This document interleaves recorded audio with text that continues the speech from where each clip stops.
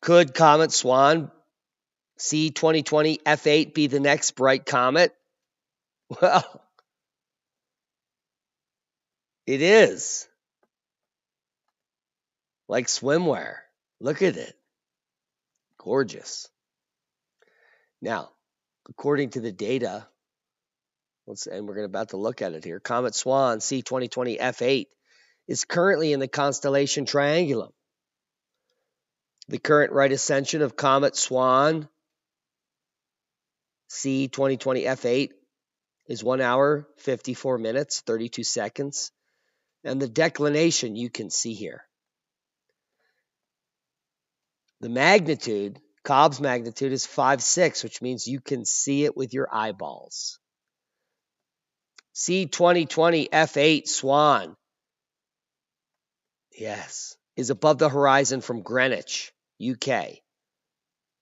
It's visible looking in the east direction, 32 degrees above the horizon. Given the magnitude, C 2020 F8 Swan is easily visible with the help of a small binocular. Now it rises about 2:38 a.m. my time, or is that Greenwich Mean Time? And here is the position in the Triangulum constellation currently. And you can scroll down the magnitude, etc from the link below here and glean a little information on Swan. Uh, closest approach here at 0.579 astronomical units will be now, today, which is why we're doing the video.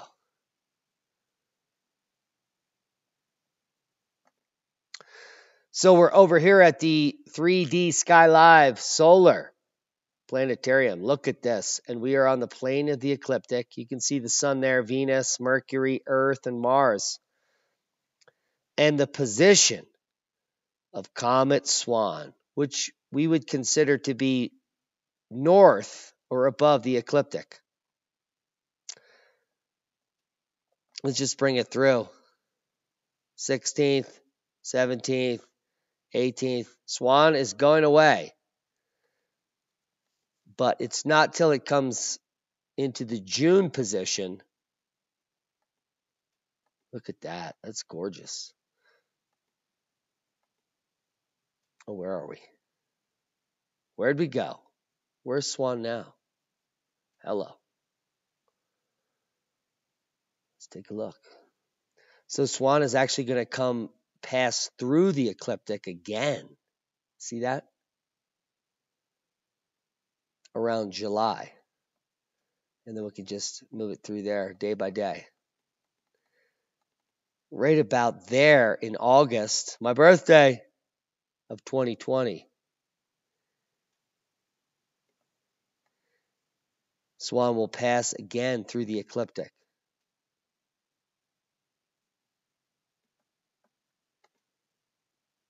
And some of the pictures of swan, most recent pictures of swan here we can see, boom.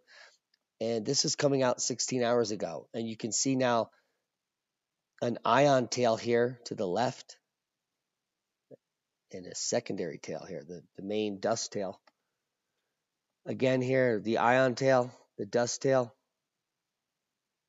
See how it's splitting now? This is the pos position above Greenwich Mean Time. Boom! And let's just break it down. So our current knowledge here is that comets have a nucleus.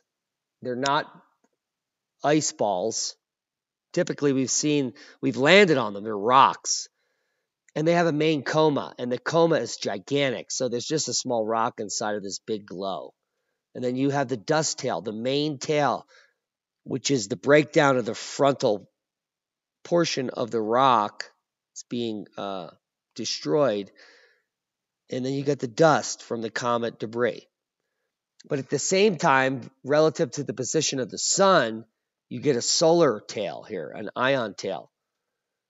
And in the middle here, this blue tail is typically is sometimes called the sodium tail. So you got the dust tail, the gas tail, and sometimes a middle tail right there. And here we see from Boston University Imaging, Hale Bopp. Clearly has an ion tail, sodium, and dust. If you must. But this baby, uh, we have a, a long time. Look at it up there. Wow. And just look at that. Gorgeous. I just want to point out that we are just in the last decade starting to understand that comets are not pieces of ice left over from the beginning of the Big Bang or any of that schmang. And they are parts of cosmic catastrophe history, remnants of it flowing around our solar system.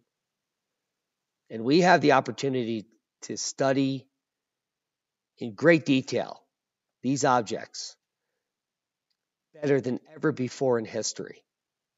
Because, as you know, history is a mystery on purpose.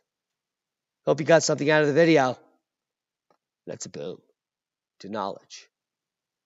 Share this with like minded people. Subscribe to the channel. We love each and every one of you.